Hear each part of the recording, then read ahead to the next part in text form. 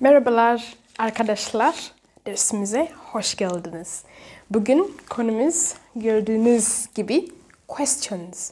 Questions sorular demek. So sorular nasıl soruyoruz İngilizce'de? Çoğu zaman öğrenciler sadece cevap veriyorlar. Diğer kişiye soru sormuyorlar. Neden? Çünkü soru sormaya bilmiyorlar. O cümle nasıl kuracak emin değil. So bu videoda bu durum çözeceğiz.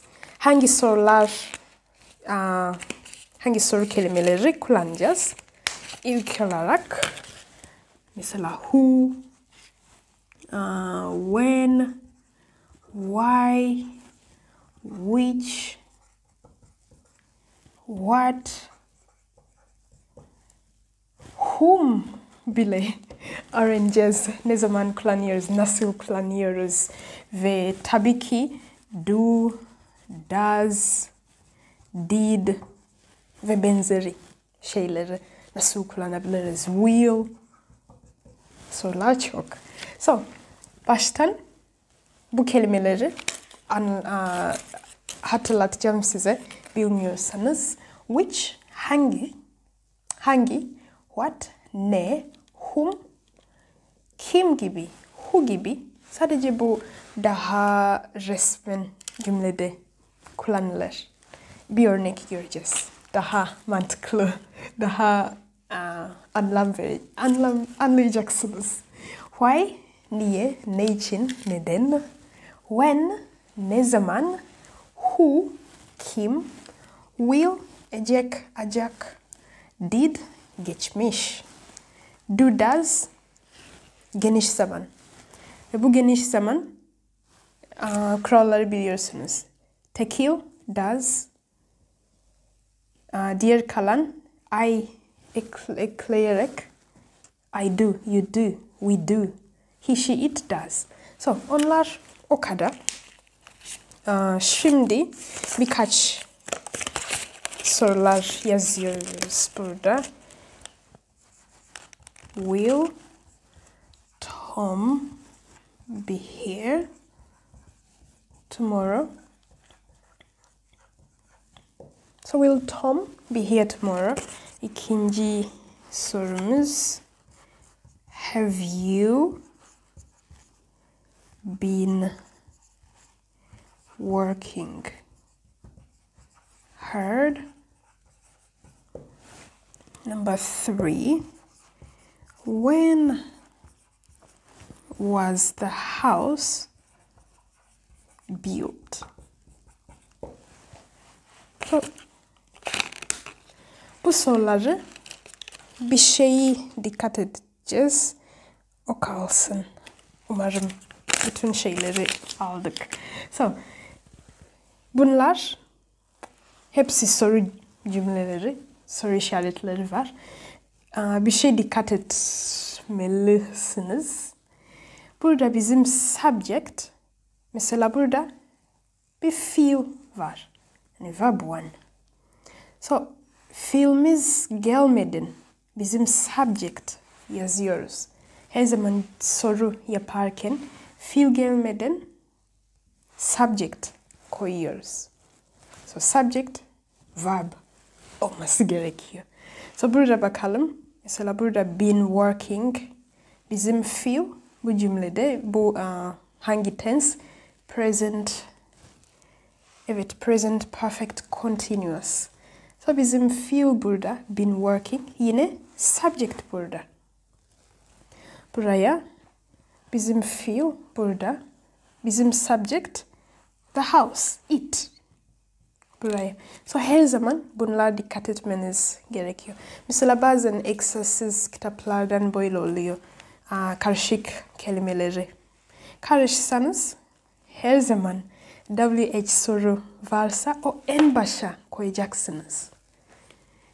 Sonra filmimiz yazmadan subject yazacaksınız. Diğer kalan yavaş yavaş anlayacağız, öğreneceğiz cümle içinde nereye hangisi hep en son koyuyoruz. Ama bunlar bu kadar yani ilk bilmemiz, bilmemiz gereken bir şey nedir? Subject verb. Böyle olmaz. Yani şöyle will be Tom here tomorrow öyle olmaz. Yani subject gelme, uh, subject fiilden sonra. Uh, mesela burada have you working? No, have working you? Have working had you? No, no, no, no. Bizim fiil ve bizim subject. So ilk kural o. Oh, nedir? Subject verb. Kısaca. Devam ediyoruz. Present tense. Present tense geniş zaman. Cümle kurarak. Normalde mesela I live in Ankara desem. So burada soru cümle nasıl olacak? Do you live in Ankara? So orada öğrendiğimiz şey bizim fiil gelmeden subject. So do you live in Ankara? Does she live in Ankara?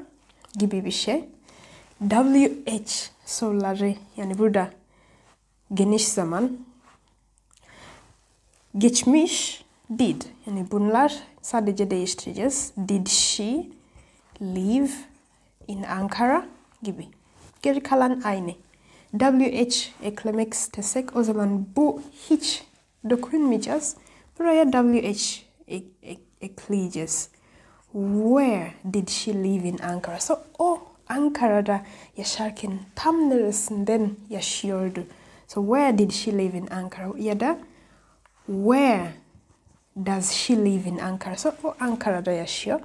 Ankara'dan tam nerede yani hangi yerden? So where does she live in Ankara gibi.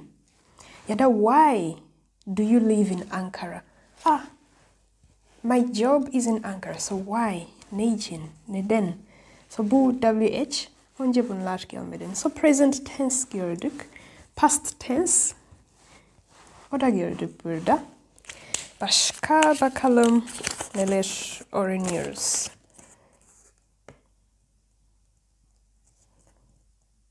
Evet. Şimdi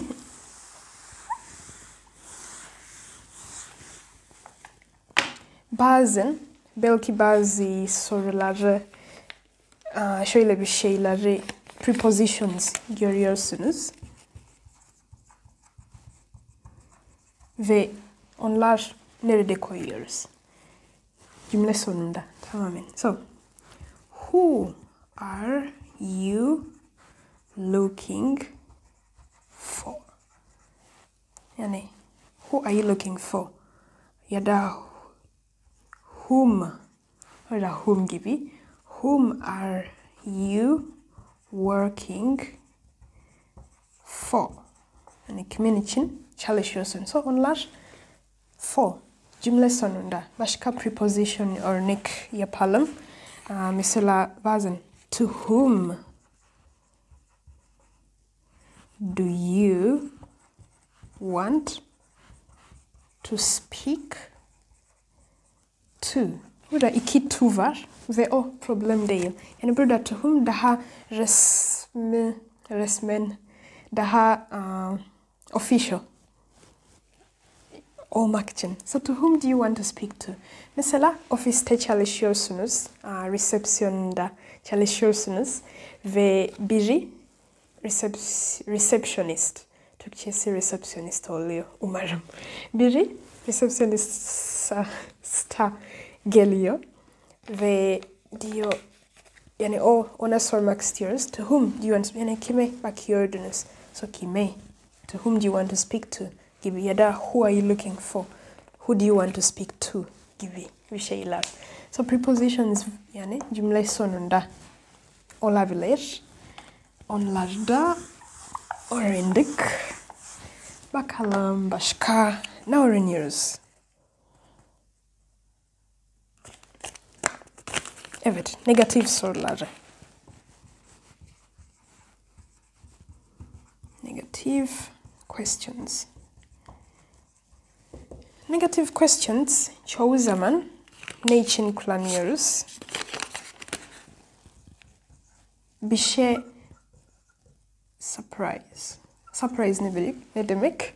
Surprise. Yani bir şey şaşırtan bir şeyle sormak istediğimizde ya da karşılaştığımızda ve diğeri aa, konuştuğumuz kişiyle bizimle aa, katılmayı beklentimiz varken we expect agreement.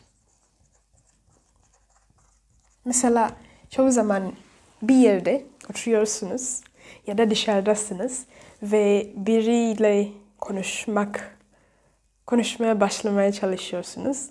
Diyeceksiniz hava kötü değil, değil mi? Gibi. Çünkü o diyecek evet kötü değil. So nasıl diyeceğiz? Isn't. The weather. Good. Today. Ya da not bad. Ya da bad. Ya da cold. Yani fark etmez ama negatifle başlayacak çünkü yani çoğu zaman demek ki bizim fikir bu. Değil mi? Evet, doğru gibi. Daha anlayacağız örnekler yaparak. Mesela hmm, haven't we yani çoğu zaman haven't we burada bir güzel örnek yazdım.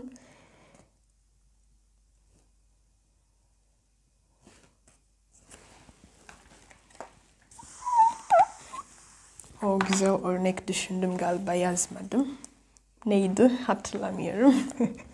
uh, haven't we had enough? Bu da iyi. Haven't we had enough already?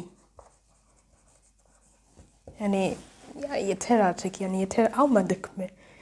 Bel belki bir yerden bekliyordunuz ve of, olmuyor. Herkes sınırlı. Yani onlar diğer kişiler diyorsun haven't we had enough already? Stop. Yani yeter. Yeter aldık. Yani diğer kişi de aa, aynı fikirde olmasını beklerken gibi bir şey. Aa,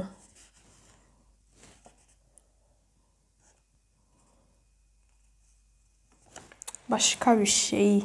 Mesela bir negatif soru yazacağız ve o nasıl cevaplayabiliriz göreceğiz.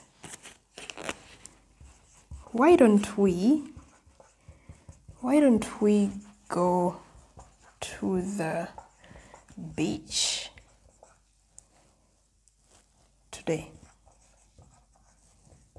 Why don't we go to the beach today? Da why don't you go to the beach today? So diğeri yes dediğinde ya da no dediğinde ne anlam veriyor?